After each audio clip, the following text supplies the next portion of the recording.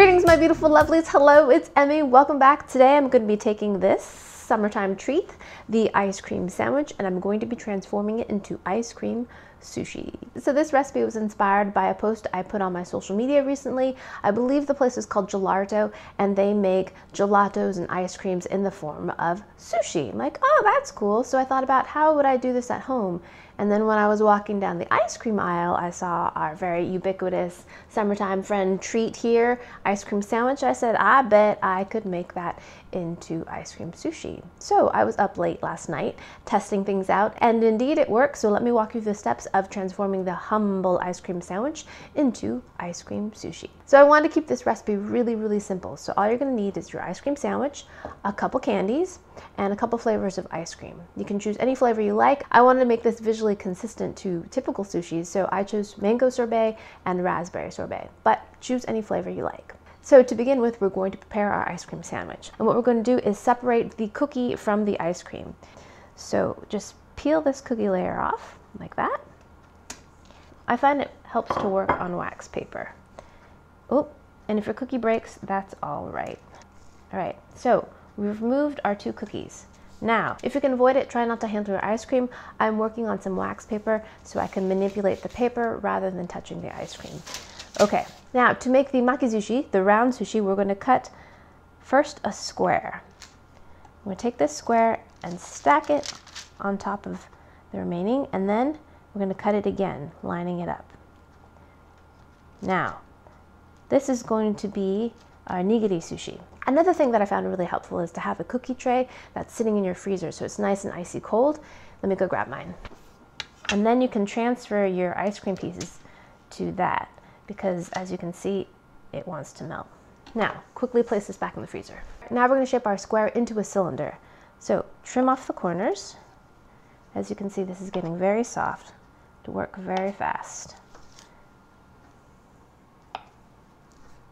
Now we're gonna take one of our cookies and we're going to cut it in half lengthwise. And this will be our nori. And wrap this around. Now you're going to be a little bit short, but that's okay. I'm to grab another piece here and wrap this as well. Now we're going to take a boba straw that you've saved from the last time you had boba, and using the pointy end, we're going to poke a hole in it. Twist it and lift it out grab our icy cold tray, quickly lift that, place that in there, and run back to the freezer. Next, we're gonna pair the topping for our nigiri sushi.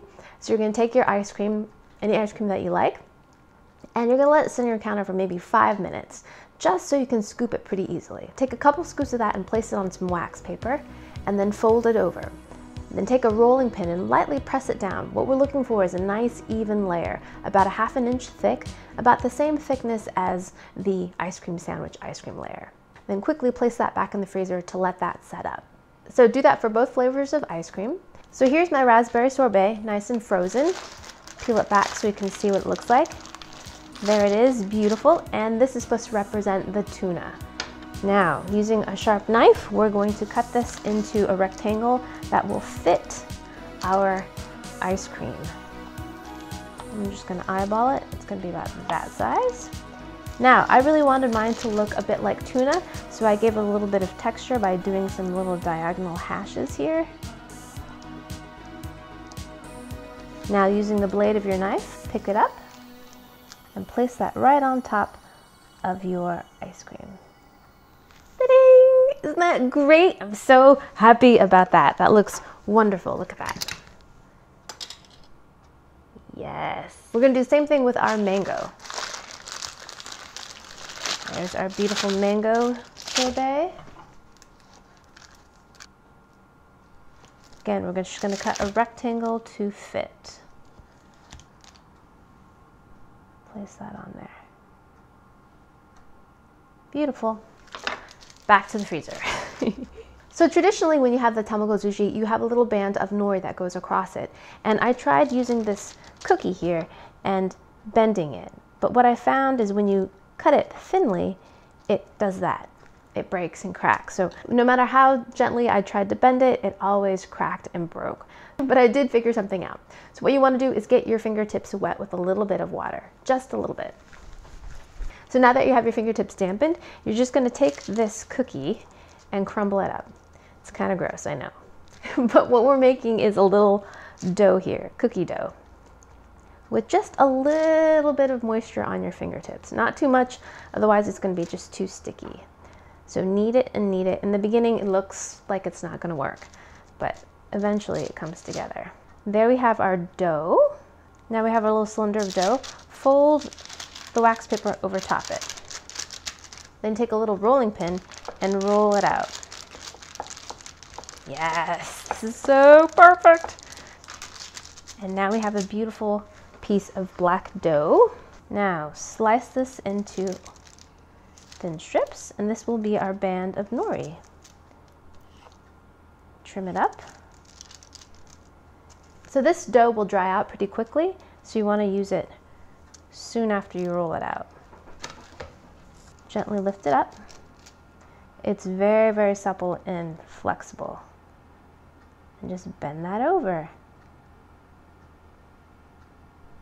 Perfect, no cracking, yay! Back into the freezer. So for some color interest and garnish, I'm going to be using a little piece of sour candy tape in color green. I'm going to make some of that fake plastic grass. So grab yourself a pair of kitchen shears, your sour tape, and then just cut little triangles.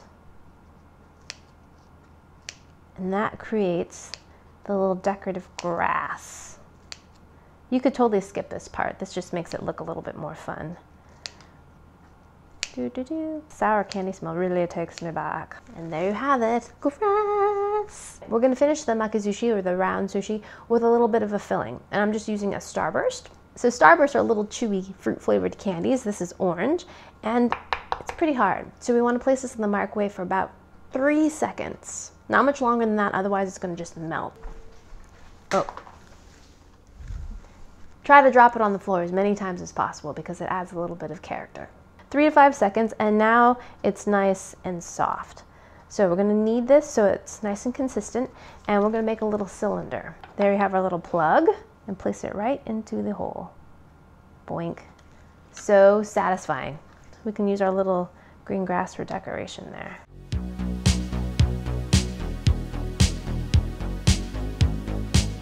And there you have it, the ice cream sandwich transformed into ice cream sushi. I'm so happy about how this turned out. It's a little bit tricky to make these because you are dealing with a frozen confection and you're constantly running back and forth between the counter and the freezer. Ideally, this would be made in like a walk-in freezer, but I don't live in a place that has a walk-in freezer, but if you do, that's where you should make this. All right, let's go ahead and taste these. I'm going to taste this raspberry one first. Itadakimasu.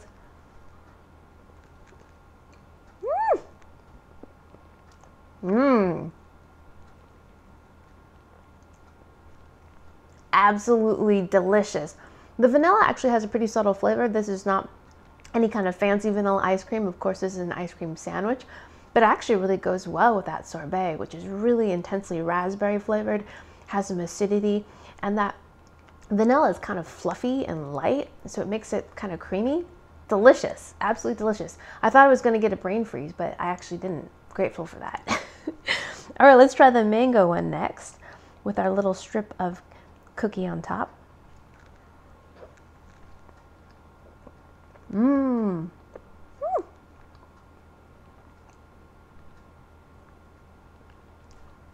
That one was utterly divine. I love mango sorbet. Well, I love mangoes. Really great mango flavor. And again, in concert, in combination with that vanilla, really, really nice. And then you get a little bit of that cookie on top. It gives you just a little bit of chocolate chew. Not too much chocolate flavor. Actually, you taste it mostly at the end when you're left with a little bit of cookie stuck to your teeth. But delicious. Absolutely delicious. I've never had an ice cream sandwich taste so good. Lastly, let's taste our big makizushi. Oh, look at this. This is this is not gonna. All right, this is so big. I'm gonna have to just take a little pinch of it like this. Here we go and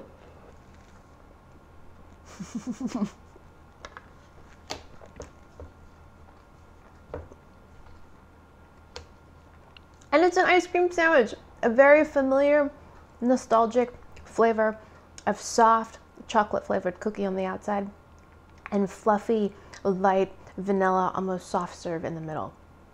It's totally a throwback to when you were a kid and you got ice cream sandwich all over the place and you had the paper sticking everywhere and your hands were sticky.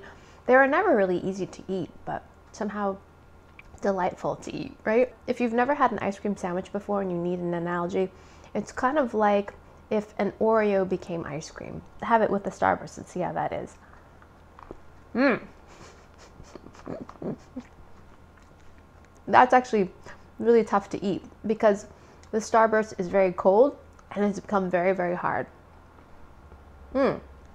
But you know what? It works really well with the ice cream. It becomes this kind of orange sickle flavor because you have the orange of the taffy and then vanilla. It's a great combination actually. Mm-hmm. Once you get over the fact that the Starburst is very, very hard. so there you have it, just in time for summer. That's how you transform an ice cream sandwich into beautiful ice cream sushi. I think this would be really fun to make at a birthday party or a, any party for that matter if you're into food making. And yeah, if you guys do make this, please share your results with me on social media. I want to see them. Be sure to share this video with your friends and yeah, you know, follow me on social media. Share your creations with me. And I hope you guys enjoy that one. I hope you guys learned something and I shall see you in my next one. Toodaloo, take care. Bye.